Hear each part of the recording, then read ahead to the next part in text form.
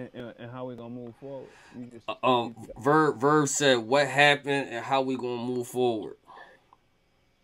All right. So if y'all haven't been keeping up, um, Verb asked Mike, can y'all hear me? Make sure y'all can yeah, hear me. Yeah, yeah, everybody can hear you. All right, cool. Verb asked Mike to leave him alone um, three times, I think. And uh, Mike wouldn't leave him alone, so Verb did what Verb do. Well, today there was a video that dropped that Mike was saying, I hope Verb is on that when I see him. And uh, make sure you say that to my face, blah, blah, blah, blah. Verb told him it was up and uh, it was to the ceiling and he was going to make him cry by the end of the week. So I said, you know what? This is uh this is going left and it don't need to. So I went and handled that. So this thing with Mike P and Verb is dead.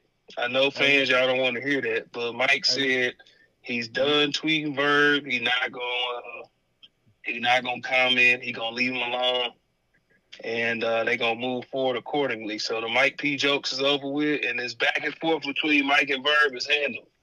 All that he going left, I dealt with it. I took care of that. So yes, you did. it is back to battle rap, What you mean and you uh, hey, yo, Jared, what do you it. mean you took care of it though?